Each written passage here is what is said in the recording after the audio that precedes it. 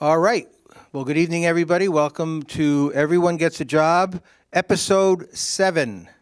So, the purpose of this whole series is to provide information to parents and to young people and to anybody who needs a job in the, the opportunities that are in the strongest economic sectors in Hamden, Connecticut, and in the region. So we've run a series of uh, panels on all different topics uh, going back to January, starting with healthcare, manufacturing, the trades, environmental science, and many others. Healthcare, I mentioned. So tonight we're going to be doing information technology. The idea here is to build economic prosperity in the town of Hamden.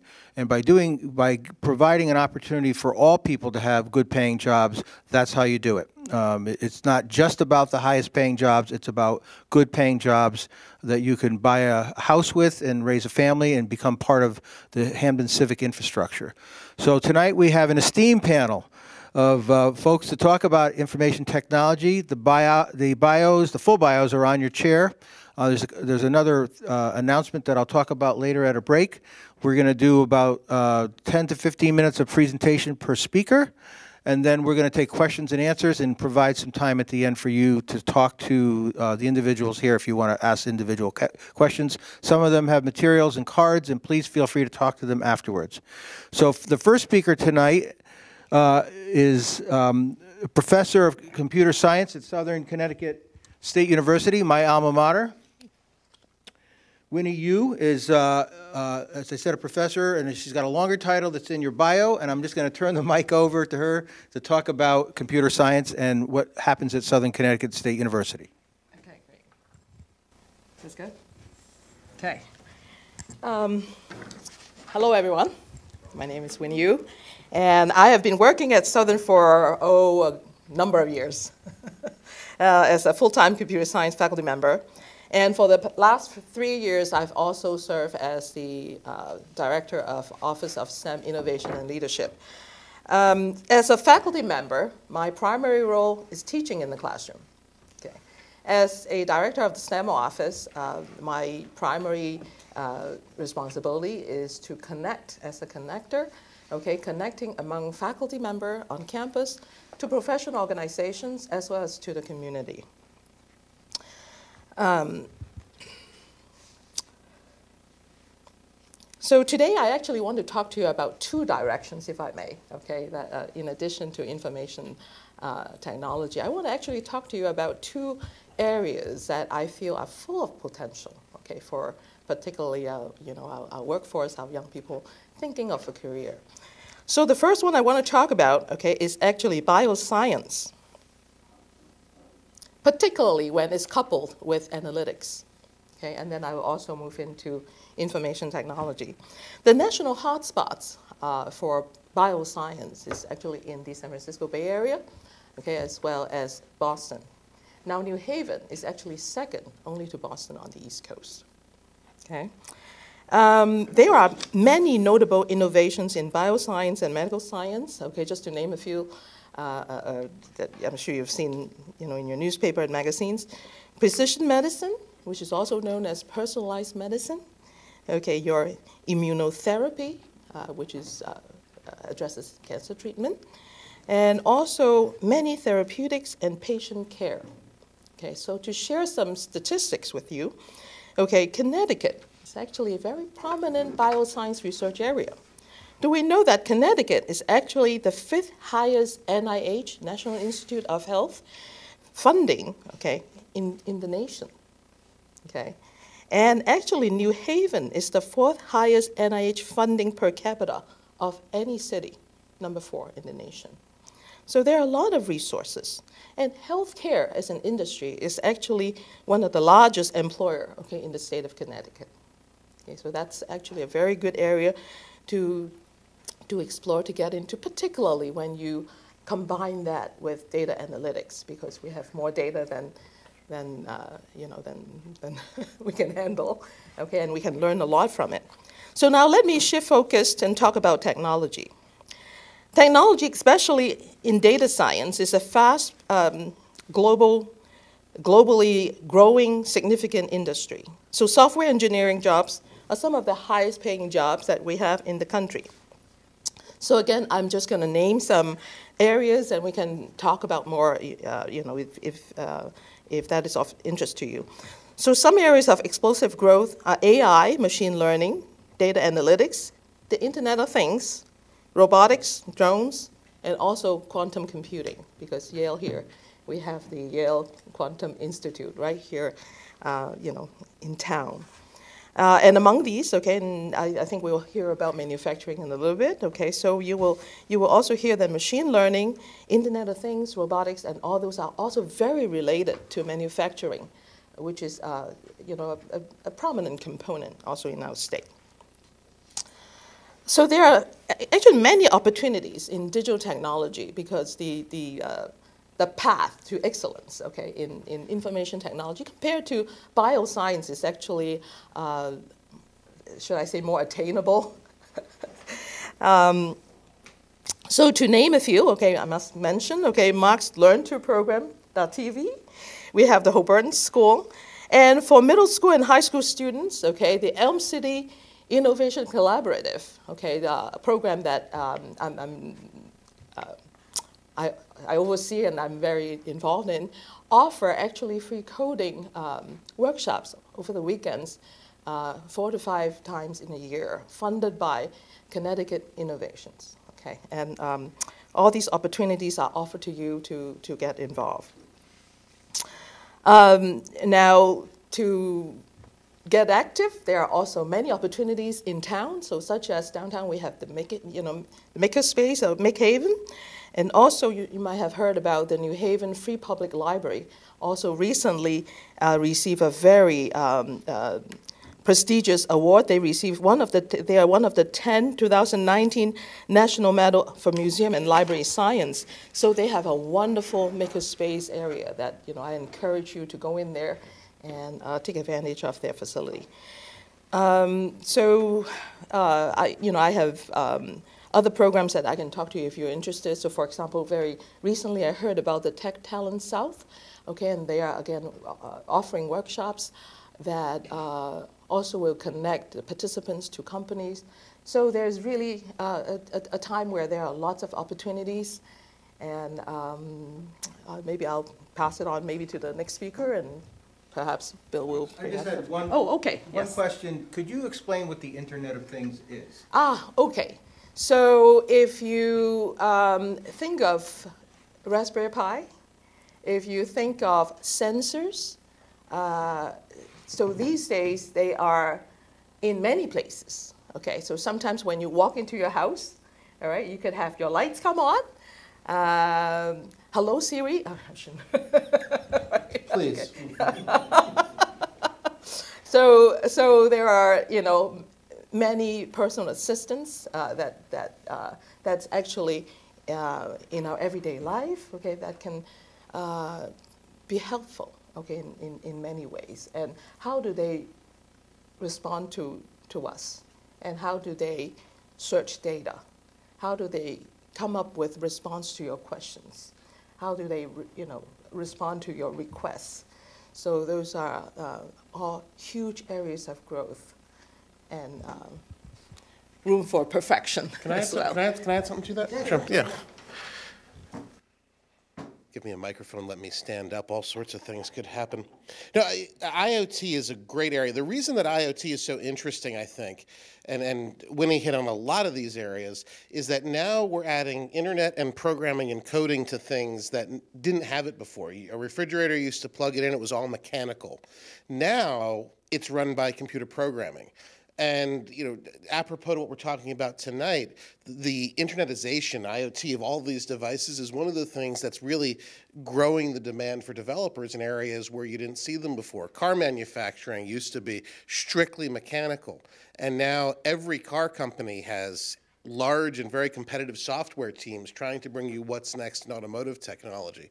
So IoT is the connection of all these devices, but I think what's important is how many jobs it's adding to the overall market because now you need programmers for refrigerators, you need programmers for cars, you need programmers for devices that you never had any programming in before. So I think that's that's really where the impact is. Sorry to jump in, it's just one of the areas I'm excited about. And he is excited, trust me. Well, uh, you don't realize all the things in your life. We, started about 10, 15 years ago with little robots that vacuum your floor, you know, and now you can uh, uh, look in your refrigerator from the middle of Stop and Shop and see if you have eggs in your refrigerator. It's pretty amazing when you think about it. The next speaker is Bill Villano, who's the director of the Workforce Alliance, which handles all kinds of workforce-related programs, uh, uh, job training dollars. We had Chris Reardon in an earlier session talk about manufacturing specifically. Bill's going to talk about some different topics in IT and what is going on in the region, and again in career opportunities. Okay. He's a lot taller than me. Thank you. So, you know, every day uh, there's usually, you know, an article or a story on TV about uh, automation, artificial intelligence, robotics, and how all of this new technology is changing the way we work and the way we live. Um, initially, there had been kind of two schools of thought on this. One was that this was just the norm, you know, the changing in the economy, the changing in the jobs was just the normal churn in the economy. It happens all the time. Jobs get old, they go away, new jobs come, take their place, people move on to that. The other kind of school of thought was more that, that this change is going faster than most of us can really keep up with and adjust to, and because of that, it's going to cause uh, really significant unemployment and a lot of dislocation for people and trouble getting back uh, uh, to, to jobs. And, and that uh, so, so the whole idea, I guess, is, is that is it really different this time or is it not? And I, I kind of lean on yes, it's different. Maybe not gloom and doom, the end of the world, but uh, it is different. And uh, you know, a couple of examples is you know, as as everyone is just saying, artificial intelligence is being used in a number of companies, a number of industries, organizations, government, you know, everything that we buy. Um, the increase in automation uh, is creating greater, excuse me, greater efficiency, greater productivity, which means uh, fundamentally everybody is doing more with less because of the technology. Uh, we're seeing uh, more structural unemployment, and, and structural unemployment is the unemployment that's created because existing workers don't have the skills necessary to take on the new jobs that are coming. It's not you know, like uh, we were talking earlier, where you can go from one manufacturing job to another. A lot of jobs are going away, and it's very difficult for some people to make that transition. And I think, lastly, uh, it's it's also not just affecting blue collar jobs. Most people talked about the new technology, and if you worked in a factory, that your jobs were at risk. Now it's it's really being applied, you know, to all jobs. So whether that's uh, healthcare or legal or accounting or finance, uh, you know, jobs that traditionally had required, you know, an advanced degree, not so much anymore. Um, so I, I want to give you a few examples of, of what's happened already, just to kind of maybe put this in perspective. So right now, manufacturers are making twice as much product today as they did in the 1980s with 7 million fewer workers. So that's the automotive. You know, uh, General Motors, for example, uh, is making about the same amount of cars it made then with 40% fewer workers. More robotics there. I'll talk about that in a second. Right? The big data computing. Uh, you now. The, the power of artificial intelligence is connecting with all of the data around the world and, uh, and it's, it, you know, the, the numbers of outcomes, what happens with that is, is just phenomenal. So some examples, you know, you know, Google. Google now is connecting you to everything in the world.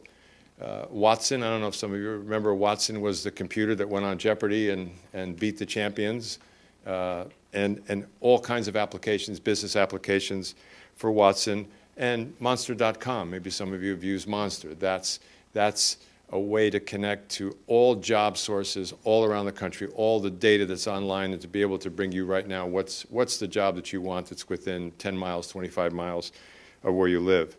Um, so, you know, everybody who's, who's talked about this subject um, refers to an Oxford University study that was in 2013 where, that said 47% of American jobs are are automatable either totally or partially, right? And so I want to give you a few examples of like what's you know, what's, what would that mean in some, some areas? So for example, we talked about autonomous cars, right? Self, you know, driverless cars, so that truck drivers, cab drivers, Uber drivers, Lyft drivers, of which there are 4.8 million of them in this country, you know, are at risk at some point of having their jobs go away. Um, but I think I should probably say, uh, and maybe I should have started with this, is that this is really all about when this is going to happen, right? Not if. Uh, uh, so uh, there was an interesting article, I want to uh, just quote it to you from the New York Times a while ago. It said, autonomous vehicles that will outperform buses, cost less than Uber, and travel faster than cars stuck in traffic today are two years away, or 10, or 30. and that's the real issue here. You know, the technology exists to have autonomous cars, but how far away are we from when a tractor trailer can leave Boston and get to San Francisco and make it and navigate it and, and, and deal with detours and traffic and, and being serviced and things like that. I mean, I think it's a while, a while away. Retail, we all know this. We see every day we see something in, in the paper about you know Sears closing or other people closing a dress barn or something like that. It was just announced uh, yesterday. There's 8 million uh, retail workers. They're 6% of the workforce. Amazon, by the way, the good news, which is moving right into North Haven and going to open up in a couple of, couple of months, uh, was um, 18th uh, on the uh, Fortune 500 list a few years ago, now 12th, now they're 8th, you know, and it's not far to where, where they are. And then, we, again, we were talking about, you know, fast food, uh, you know, earlier. Uh, you know, you go in now and you're, you're going to start ordering on kiosks. There are some restaurants around the country where you, when you walk in, there's a tablet on your table and you, and you do it. So you, you get your food delivered to you, but not in the traditional uh, waiter sense.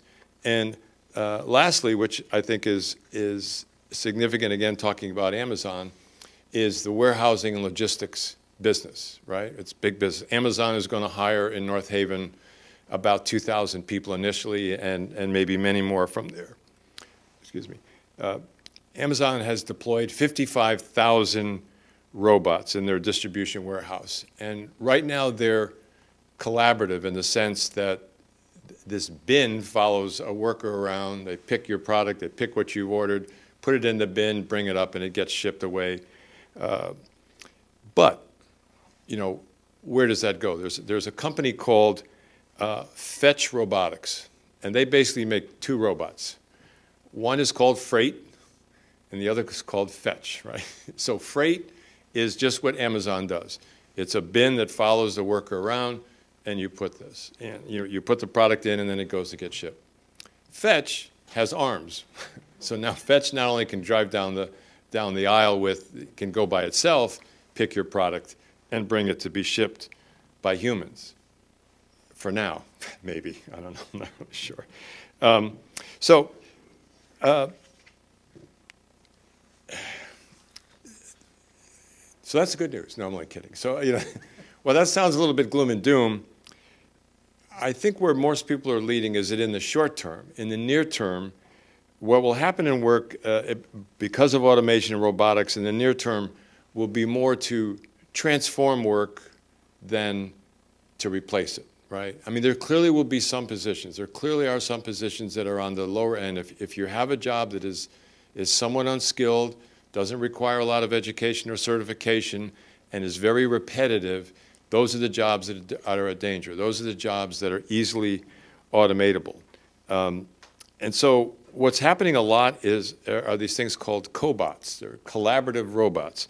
And basically what the cobots, and, and the and a cobot could be something as simple as an arm, just an arm that moves around, or it could be something that's a little bit more human-like, or it could be some type of a vehicle, but they are made to, to assist humans in their work.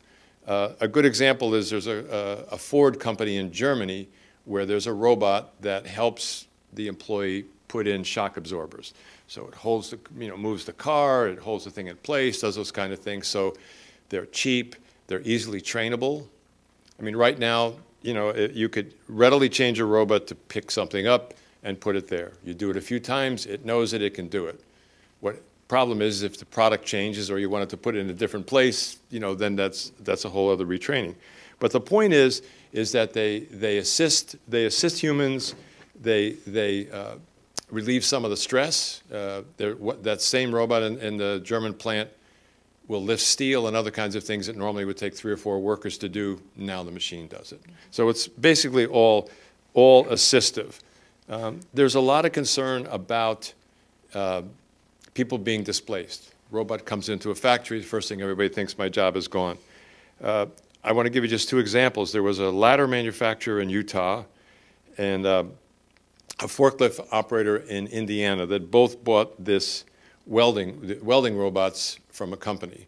And everybody thought their job was going to go away. But the increase in efficiency and the increase in productivity caused uh, uh, tremendous growth in sales uh, and the companies expanded dramatically. So, you know, that's, that's the positive side of this. Um, so uh, Dale asked me to talk a little bit just about uh, jobs. You know, what kind of jobs are there? So I have a couple of handouts here that you can take after, take out, take after. But fundamentally, of the 11 uh, manufacturing occupations the Department of Labor is um, tracking, their projections, which were from 2016 to 2026, is all of them, with the exception of computer program, computer programmers, which has a slight decrease, are, gonna, are going to increase and, and increase fairly dramatically. With uh, uh, Mark was just talking about software developers. That leads the list with about a 30% growth rate projected over the next uh, eight years or so. There's also another category which is called mathematical sciences, and those are like actuaries and statisticians and research analysts, and those are growing uh, even more. And uh, my one little pitch here is in my organization, we have a program that's designed for 17 to 29 year olds. It's a federal program. I'm not sure how they came up with that age range, but uh, it's designed specifically to train people in IT occupations. so people can go and get skill training they can get on the job training, they can get internships, or, or all of those. So let me just say, in, in closing, um, it seems to me that what all of this is about is not necessarily about the change, but more about the pace of change. Are we going to be able to keep up with this pace of change, and are we going to be able to skill up to be able to, to make the transition? So, as I said earlier, it's not about if these changes are happening. It's about when, it's about to what degree, and it's about what occupations, right? Demand for individuals will rise to the degree which you can complement the new technology and keep pace with that. And demand will fall if you're in a routine job and you're not doing lifelong learning or keeping up with it. So how do you prepare? Lifelong learning, continue. You know, your certificate is not enough, your degree is not enough. Uh, you need 21st century skills. You need to be tech savvy. You need to be able to work in teams. You need to be able to communicate with people. Um, and you have to continue to work, right? So, so you know, a lot of companies will send you to school, school uh, or offer tuition reimbursement programs, learn on the job, learn at your community college, preferably do both. And I think there was one quote that I just want to end with, which uh, in one of the things I read that says, Complacency is the biggest threat to your paycheck. That's quite a quote. One uh, interesting thing you said that you put government and artificial intelligence in the same sentence. there was a joke in there. I'm trying to figure out what it is. I have a response to that if you want it. Um, the scary thing, if you want to talk about government and intelligence, is uh, uh, Secretary Mnuchin, when this came up, said Job loss due to technology, quote, is not even on our radar, unquote. And we are thinking it's, it's again, quote, 50 to 100 years away. That's scary. wow. So as uh, all these presentations go by, I, I, a lot of things pop in my head. My father was a cab driver, so when I think about Uber and Lyft and, you know, he wouldn't be pleased uh, on that end, but he'd probably become an Uber driver. He probably would have done that. He worked about 100 hours a week. I also thought about the number of hours that people will be working 20 years from now. Will it be 40, 50, or will it be a smarter 30? Uh, it'll be going down even more, according to Mark's. Uh, uh, and what's going to happen to labor unions if we have automation? There's a lot of things that really pop into my head um, that are going to become germane in the workforce. So our next speaker uh, is a good friend and has had many, many uh, uh, products that he's worked on and offered to the public. I believe he's trained a million people, and that is not an exaggeration. Um, I, in all these panels, we try to have at least one business on uh, each panel. Uh, Mark's going to talk about a number of things in IT, including his own business and where careers are going uh, on the street uh, in real time. Mark? Thanks, Dale. Was always remind someone when they invite me to speak, you wanted this. Um, yeah, listening to, to Bob and Winnie, I'm reminded of, of, a Chinese curse. I think it goes something like, you should live in interesting times, which Robert Kennedy quoted famously in a speech. And what that meant is, you know, times that are turbulent with a lot of change can be scary, but there's lots of opportunity. And I, I think we're living through one of those times now. Um, I'm guessing that uh, some of these gentlemen in the room are, are school age, yes? You guys in school? So you've studied the Industrial Revolution? Does that sound familiar, Industrial Revolution? 1870s. What happened during the Industrial Revolution, roughly? Anyone can answer.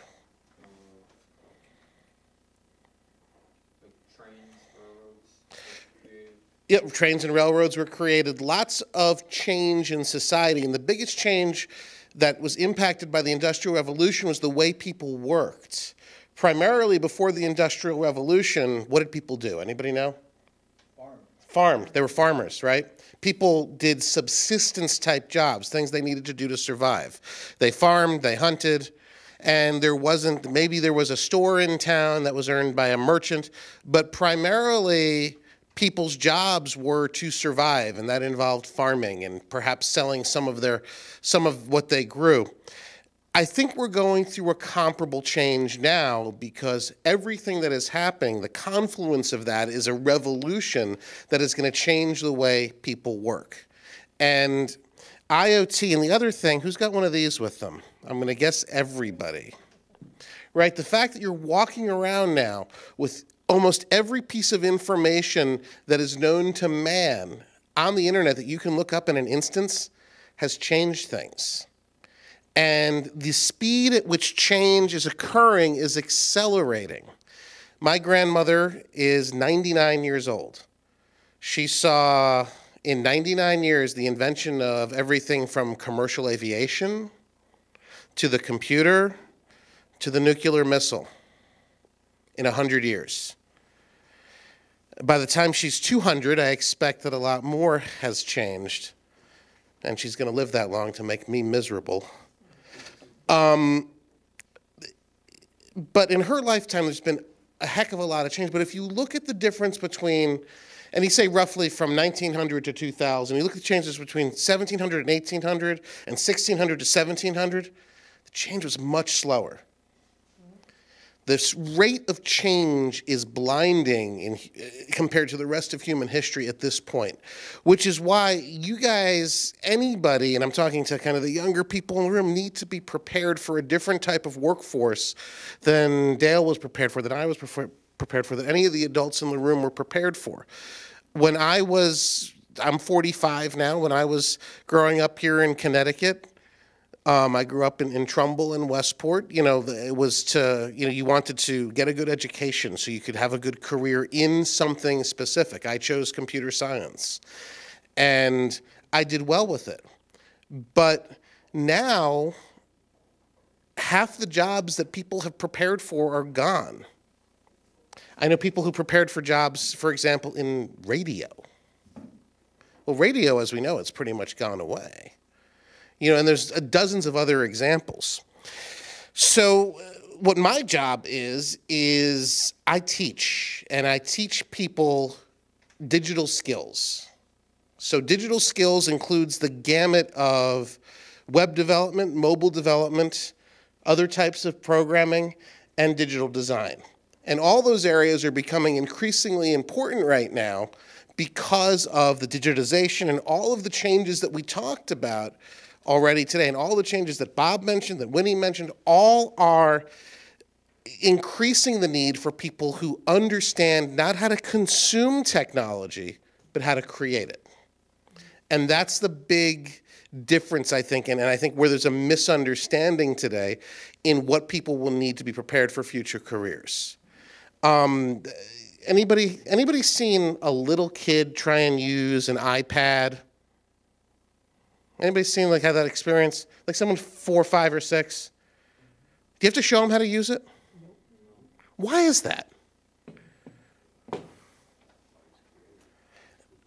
It's, I, I, think you're right. I think part of it is that the interface is so good that it's natural to them. And becoming a consumer of technology more and more is going to be natural. Kids growing up today are going to be able to look at the technology and use it, whereas adults, sometimes we have to struggle with the new technology. And I know I have that experience when I have younger people working with me at my company. They operate their Windows machine, their phone, much faster than I do, much more intuitively, and I have to think about it. But the advantage I have over them is I know how to create that. And that's where you can advantage yourself is by becoming a creator of technology, not just a consumer of it. And that's where the fields I just mentioned come in. Web development, mobile development, digital design, and coding. All of those fields offer huge opportunities for people who want to create technology. And what's interesting is you know, throughout the ecosystem of work, from large corporations to government and nonprofits to small companies to people who are self-employed, there are opportunities for people who can create technology. And sometimes people who create technology, I talked about people who can code. Any coders here? Winnie can code. Nobody else? Tried it? Interested in it? Maybe? Maybe? The language that's used to create technology in part is code. And the other part of that language is designing user experiences. And there's huge amounts of jobs on both sides. I mentioned to Bob before we were starting here, when we were talking casually, the unemployment rate for digital designers is less than 2%. Bill, thank you. You could have just corrected me. There's like not like, not like I get, I don't get embarrassed. I'm sorry, I apologize, Bill. Um, the, the worst part is here's his card right in front of me. It's, it's, it's, it's a reading comprehension problem. what Bill and I were talking about, and Winnie were talking about a little bit, was now I forgot. I, I, I'm off track. what were we talking about? Co Oh, the, the unemployment rate for digital designers is less than 2%. And that is people talk about coding and learn to code and all that as you know the most important thing you can do. But for everybody who's coding there's someone who's got to design that interface so that four-year-old can use it intuitively. And so adults can figure it out so there's a parallel track in creating technologies, in creating the code, but also creating the interface that people use.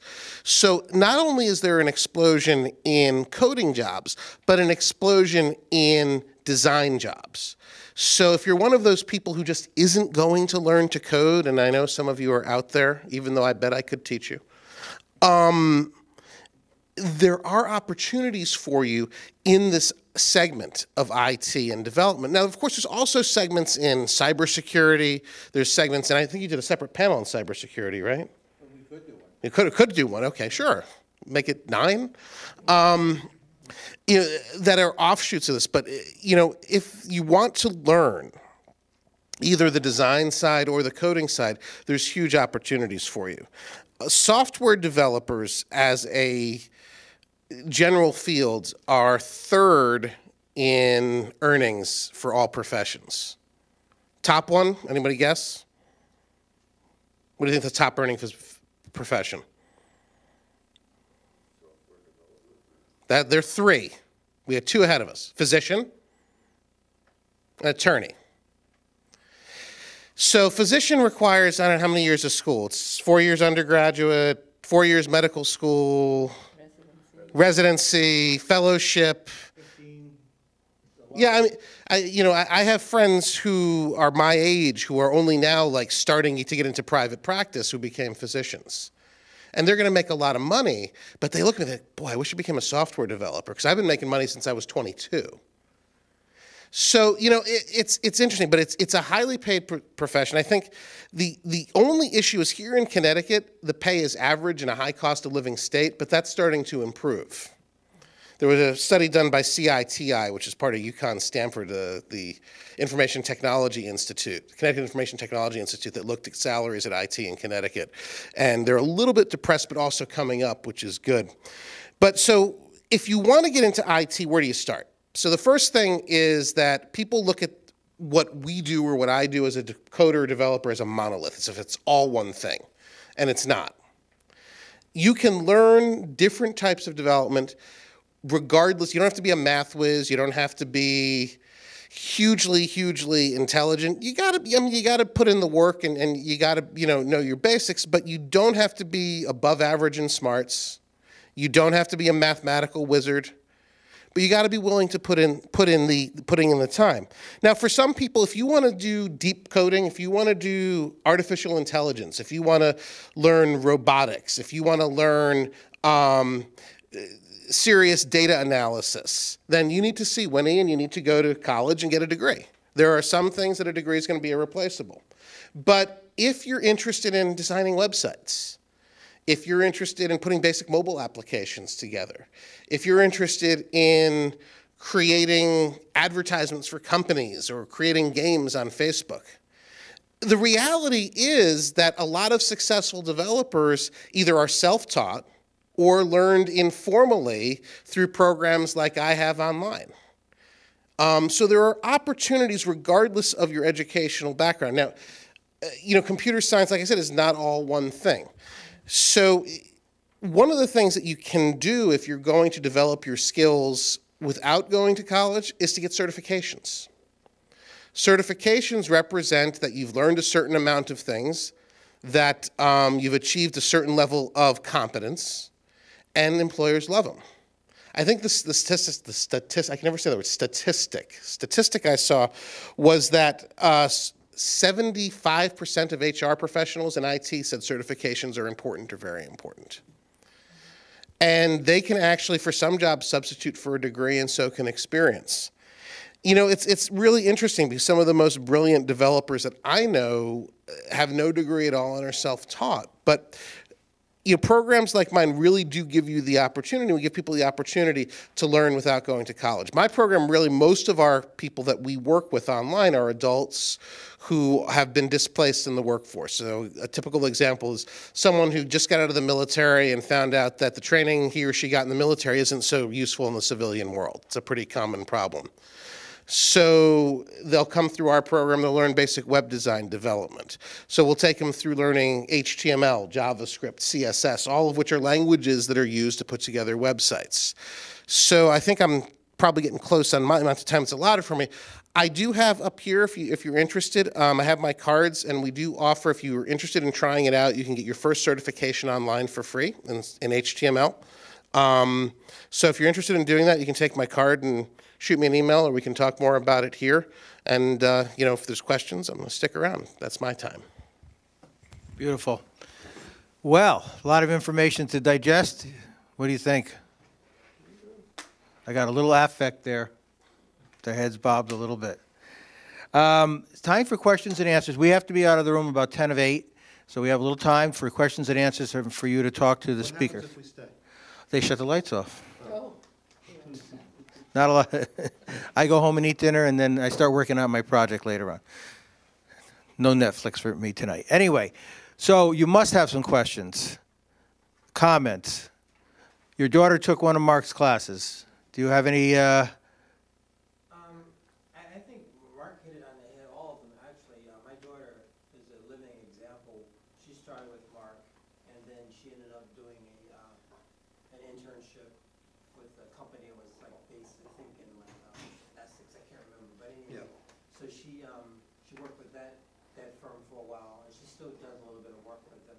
she really loved it, but as Mark also said, she wanted to get a little bit better understanding, so she took the route of going to um, a graduate school, and um, she ended up getting an internship at Alexion, and, and I think she's, her background will be in um, well, not background, what she's gonna be doing for the summer is cybersecurity, so. Right. Uh, she wasn't really sure if she was interested in it, but I kind of pushed her because she had been in, in situation where she had graduated from college with a psych degree.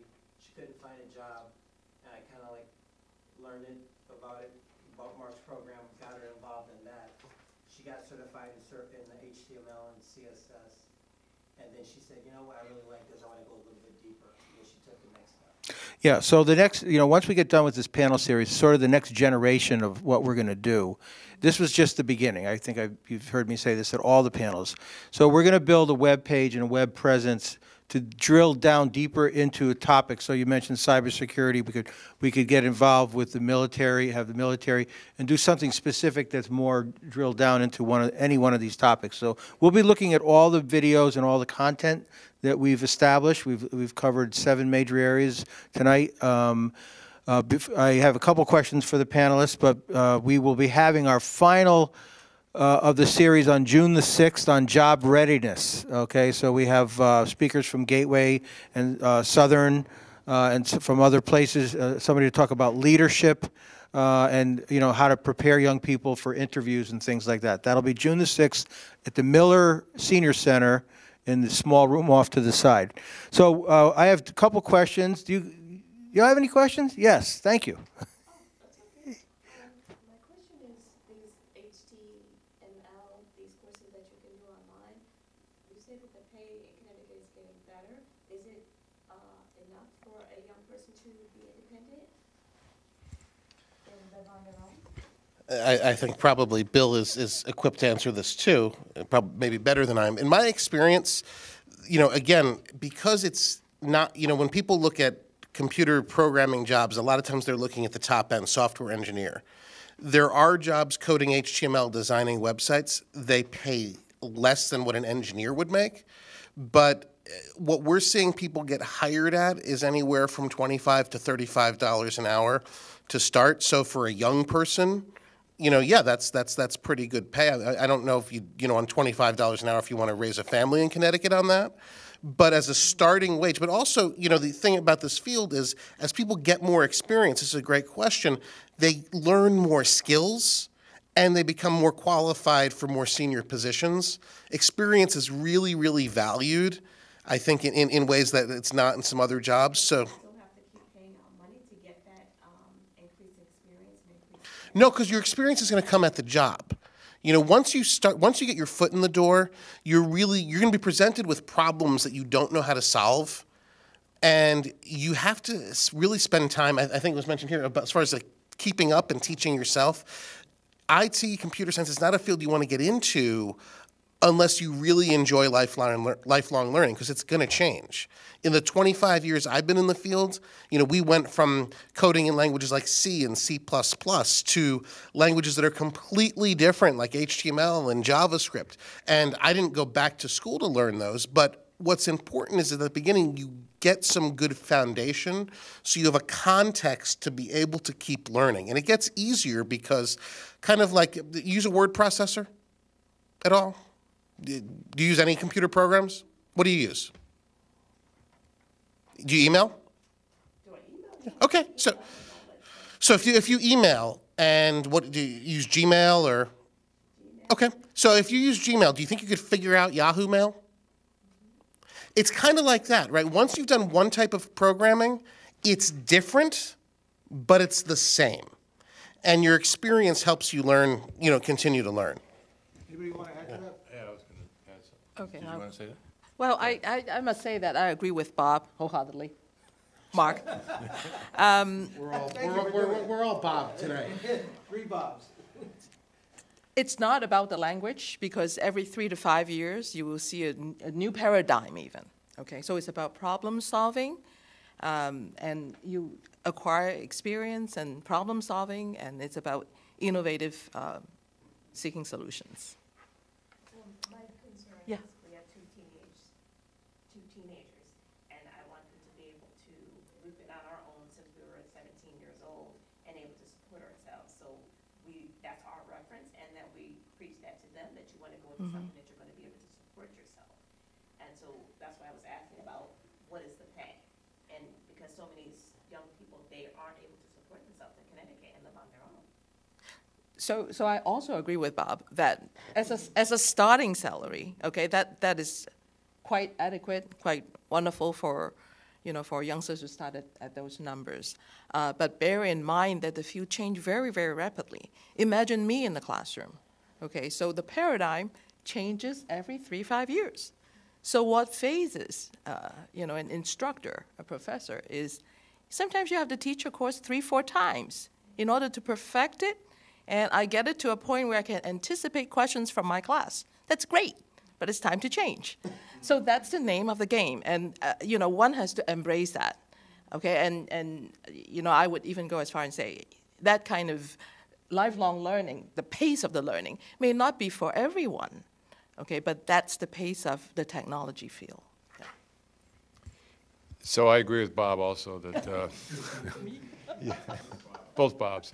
Um, it's tough for anybody to live on an entry level salary, but the entry level salaries for the, and I have some material here that you could take when you leave, and looking at the average entry level salary in IT, it's about $22 an hour. The lowest is around 17 and the highest is in the is is around thirty dollars an hour. There's one that's at forty-two, uh, which is a network architect. So, and I mean I think that's true in manufacturing also. You know, uh, we do a lot of manufacturing training, and entry level wage for or people are in the $16 to $18 an hour. But in about five years, a manufacturer in Connecticut, you'll be earning $80,000, $85,000 a year. So, you know, that's, you have to take into account that there, there is an entry level period that people are going to have to go through. But they're, uh, in both IT and, and manufacturing right now in Connecticut, we're on a very good track. I mean, Connecticut is a big defense state. You know, we have Electric Boat that builds subs. We have Pratt & Whitney engines and Sikorsky. Uh, Electric Boat has 500, 551 exactly suppliers in the state. Uh, Pratt has about 1,000. Pratt's 8,000 engines behind. Uh, Electric Boat has enough work if they never got another contract till 2034. There's not a lot of places you can go and say, I got a guaranteed job for 20 years. Um, so, uh, you know, and again, it's, it's what we've all been singing. It's the same thing, lifelong learning. I mean, you know, that, you know, getting that initial credential is good, but you need to learn on the job and you need to continue to upgrade your skills. That's you guys right there. Wanted to add in? I, I was just thinking, you know, a- an area closely allied that's also growing in Connecticut is digital media, um, especially if you get down closer to, to New York City in the, in the Norwalk Stamford corridor. We have a number of digital media companies. WWE is there, NBC Sports is there, um, and they've made long term commitments to Connecticut. And it's a similar field in that, you know, you have to keep up the skills or software is always changing. Um, and but it's part of you know their platforms are changing to be more technology oriented you know, WWE is trying to deliver everything to individual subscriptions on devices instead of, you know, USA Network or wherever you consumed, you know, their content before. So those changes are are interesting, but as far as salaries and supporting, they're they're often parallel because we keep losing people to NBC Sports who edit for me. You know, so if you want to work with computers but don't want to code and you want to do the creative side, which we also teach, the opportunities are parallel. They're starting at about twenty-two dollars an hour, right on uh, where where where Bill where uh, Bill said. So I think you know it's. We're, is, is it Bob? It's gonna be Barney by the time we're done. Um, so, you know, I, I, like I said, I, I think, you know, this is an area where there's some assurance that if somebody goes into it, and, you know, you got to do the work up front to learn it, that there's going to be a satisfactory outcome as far as, you know, your kid not sleeping on a, your, you know, your couch when they're 25. Um, you know, and the other area too that that you know I think appeals more to younger people that is starting to see some development here in Connecticut, which is at the cross section of digital media and and coding is game development there's a couple of game development companies that have come. The Game Agency is one that came into Stamford recently that gives has really interesting opportunities for younger people. And believe it or not, game developers are on the higher end of the pay scale when it comes to development because it's very difficult work, but it tends to be something that people really love to do. So if you have teenagers who are gamers, you know, which any people, any of you guys gamers? Only one? Okay, you kind of really. Not a gamer? You better love your math. But game development presents a lot of opportunity for everything from motion graphic artists to developers to testers, and all of those jobs pay very well, and those jobs are starting to appear here in Connecticut. So that's another area to kind of, I think that's more motivating to younger people, um, is but still is an area where they can support themselves and, and gives them that technology exposure that's so important. Can they get into that gaming area without going to college and going through stuff what you've done? It is. Teacher, this is something you need to, What's your name? Chris.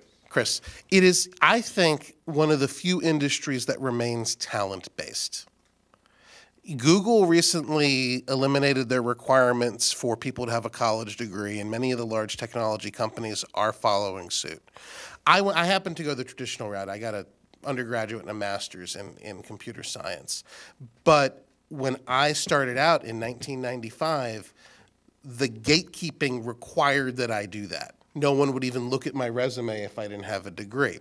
There is still a very important place for degrees. I don't want to minimize that, but it is absolutely possible for someone with informal training who does online schooling and is passionate about it and does projects on their own and develops a portfolio and that's the key is a portfolio of work that demonstrates your abilities um, to, to be employed in the gaming industry or any other sector of, of, of technology. It really is a talent based industry. It happens to be still that most people go to college to develop that talent, but I think it's far from required. Uh, Keep the mic for a second. This question, uh, it it goes uh, to the issue of the- certifications through your training programs. How um, transferable, are they proprietary to anyone like Facebook, Google, or whatever, or are they transferable to multiple industries? There's, there's two types of, of, of uh, certificates. We offer certificates in technologies like HTML, JavaScript that nobody owns, that are essentially open source technologies. And the idea of the certifications that we provide are to give people a level of proof that they've had this, what I call informal or casual education, and they've learned this skill. The way you earn a certificate from us, and someone in this room will be mad to hear this, is you don't have to take an exam anymore, but you complete um, you complete a number of coding challenges because in the end what matters is can you actually do it? Not how well can you sit for an exam and it's a lesson i've learned after a number of years. But that's one type of certificate and the idea is to prove your, your informal learning to give you a transcript of your informal learning the second type of certificate, I think what you're referring to is like a proprietary certificate that's offered by a company for a specific technology stack, like Microsoft or help me.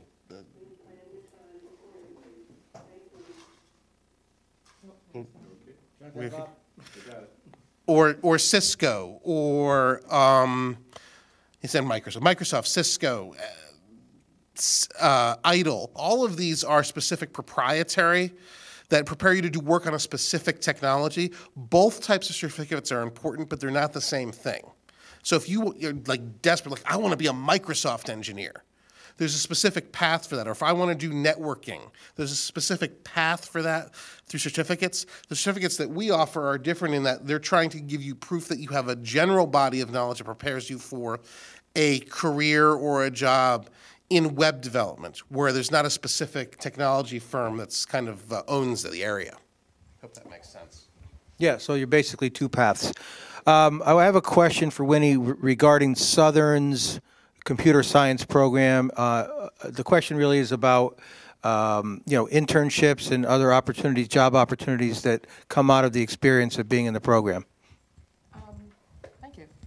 Uh, So we have two undergraduate programs, uh, one in the general computing, uh, more the traditional track, okay, and we also have a CIS, Computer Information System, that's a little bit more application-based. Um, Internship is, uh, it's it's highly encouraged. Uh, uh, some programs in the nation actually requires it. At Southern, it's not a required, you know, it's not a requirement for graduation. Um, you know, but uh, perhaps to comment on demand of, of the job market. You know, many of our students actually find uh, jobs, okay, and, and sometimes part-time, sometimes even full-time, actually before their graduation. So that is something that, uh, you know, when, when it, it depends on the student, okay? And student can handle that, I think it's a very good thing because then it complements with their classroom learning. Um, so it's definitely something that, you know, we, we encourage. Uh, The reason I bring that up is to- to learn about it, but also uh, in the final panel that we'll be having on June 6th, we'll be talking specifically about internships, because that's one thing the parents really want to know.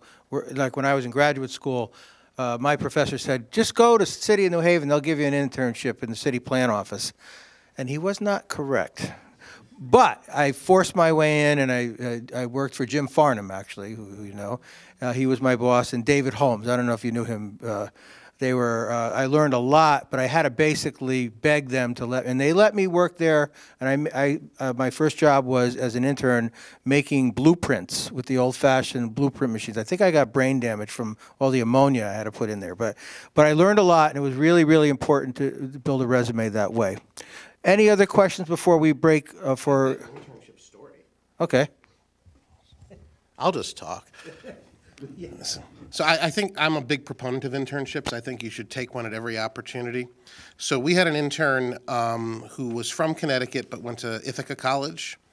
Um, this is actually Tim's son, and um, he interned with us for two summers. He did. He's a media guy. We do online courses, so we have video to edit. He did video editing and sound, and worked in our studio, and um, did really well. And we didn't prepare him for a job, but his next internship did. He uh, his next internship was with the Conan O'Brien show in Los Angeles, and that show that internship led to a job working in Hollywood on TV, which is has been his lifelong dream. So I just think intern, and this is a kid from like nowhere, Connecticut, Essex, or some some town. I, I think internships are not that Essex is nowhere, just you know, East of New Haven doesn't exist for some of us. Yeah. I, I have no stake in this. Um, but no, I, I think, like I said, internships, I can't recommend them enough in IT and technology because most interns, if they do well, do wind up getting hired by the firm where they internship. So, One last question from Ken, and then we're going to take time for you to talk individually. You had a question? Yeah, um, the term Bitcoin and cryptocurrency, how do you see that? Is that something worth pursuing? The question was about uh, cryptocurrency, Bitcoin. Who wants that? I think that's a Winnie question. Anybody want to handle this one? Bob's. No, I mean, I, I- I think it's, it's, it's, it's, appl- it's applications of technology. Um, you know, a good foundation in coding, however you get it, will prepare you to work in crypto or any of the developing areas. And this, this is one of those things I think where Winnie was talking before about the cyclical nature of the industry. Crypto and, and everything that's related to it, that's this four-year cycle. And I have a feeling that blockchain will become just part of the boring, everyday field of computer science and we'll be on to something else. Um, it's kind of a shiny object right now, but it's the foundational work that you do, however you do it and learn it, that prepares you to work in, in, in what's coming next. Okay, so we're going to end here um, and give you a chance to talk to the panelists individually. Um, thank you for coming, and thank you for listening for those of you who will watch this eventually. Um, I've actually made a lot of notes tonight that are applicable, uh, little quotes that I got from all of you, and that uh, uh, the whole concept of lifelong learning, which we all know is important, which was mentioned several times, is a topic I'm going to actually interject into the next panel. Uh, any field that you're in, it doesn't matter what field it is.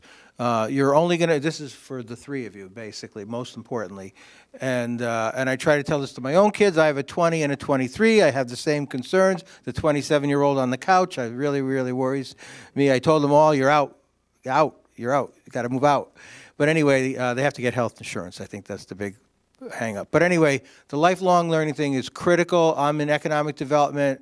I'm constantly reinventing what I'm doing in my office. I'm constantly going to conference. I'm constantly trying to uh, keep myself interested and relevant. Of course, keep myself paid as well.